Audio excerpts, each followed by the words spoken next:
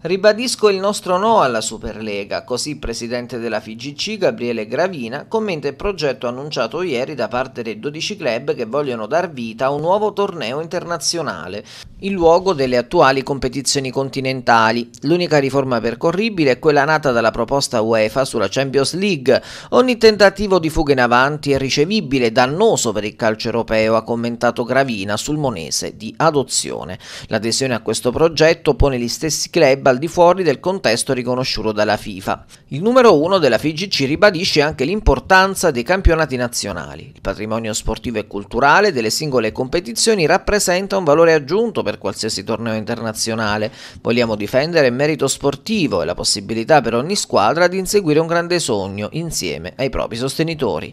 Il calcio è dei tifosi, va modernizzato ma non snaturato. Il calcio è partecipazione e condivisione, non è un club elitario.